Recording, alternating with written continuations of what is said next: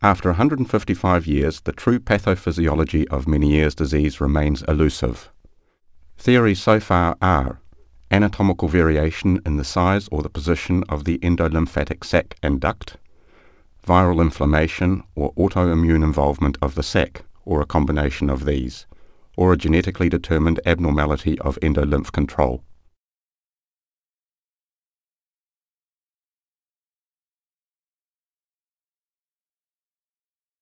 It was thought that there is a continuous flow of endolymph from the apex of the cochlea towards the endolymphatic sac.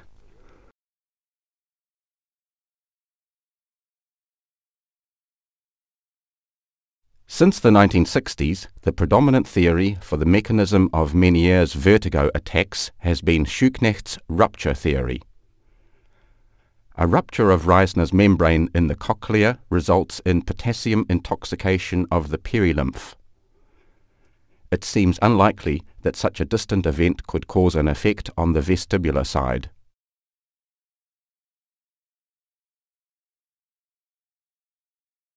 Experiments in guinea pig ears imply that apical cochlear hydrops is usually cleared locally by radial flow.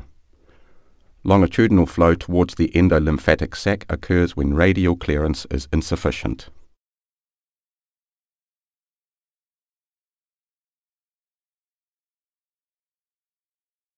If excessive hydrops cannot be cleared by radial flow, the endolymphatic sac attempts to clear it. The sac contains hydrophilic glycoproteins. Endolymph from the cochlea moves towards the sac. It may clear it, but if the endolymphatic duct is in some way blocked, endolymph fills the endolymphatic sinus. If the sac still cannot clear it, endolymph refluxes through the valve of Bast and past the utricle into the horizontal canal ampulla. It is now known that stimulation of the utricle alone can cause vertigo with nystagmus. Therefore, the nystagmus seen during a Meniere's attack could be due to a combined stimulation of the utricle and the horizontal canal receptor. If the endolymphatic duct obstruction is overcome, the sac may eventually clear the hydrops. Changing direction of nystagmus is likely due to endolymph moving in one direction and then in the opposite direction.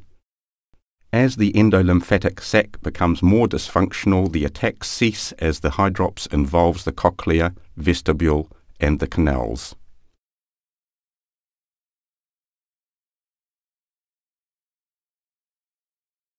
The cause of the initial cochlear hydrops in Meniere's disease is unknown, but it could be initiated by detached otoconia from the saccule obstructing the reuniting duct. The hydrops moves into the saccule. As more otoconia are released from the damaged saccule, they move toward the utricle and then obstruct the endolymphatic duct, the vestibular aqueduct, and proximal endolymphatic sac as it tries to clear the hydrops and the otoconia. Increasing hydrops then damages the utricle with further release of otoconia. The hydrops eventually involves the entire inner ear.